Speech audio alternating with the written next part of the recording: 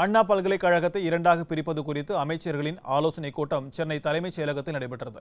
கல்வி தரத்தை மேம்படுத்தும் வகையில் அண்ணா பல்கலைக்கழகத்தை இரண்டாக பிரிப்பது குறித்து ஆய்வு செய்ய ஐந்து அமைச்சர்கள் கொண்ட குழு உருவாக்கப்பட்டுள்ளது. இதில் சட்டத்துறை அமைச்சர் சி வி சண்முகம் மின்சாரத்துறை அமைச்சர் தங்கமணி பள்ளிக்கல்வித்துறை அமைச்சர் செங்கோட்டையன் உயர்கல்வித்துறை அமைச்சர் அன்பழகன் மீன்வளத்துறை அமைச்சர் ஜெயக்குமார் ஆகியோர் இடம்பெற்றுள்ளனர். இந்நிலையில் அண்ணா பல்கலைக்கழகத்தை இரண்டாக பிரிப்பது குறித்து அமைச்சர்களின் ஆலோசனைக் கூட்டம் சென்னை தலைமைச் செயலகத்தில் நடைபெற்றது. அமைச்சர் குழுவினர் சீர்மிகு அந்தஸ்து பெறுவது குறித்தும் இரண்டாக பிரிப்பது குறித்தும் ஆய்வு செய்து அரசுக்கு பரிந்துரை செய்ய உள்ளனர் என்பது குறிப்பிடத்தக்கது.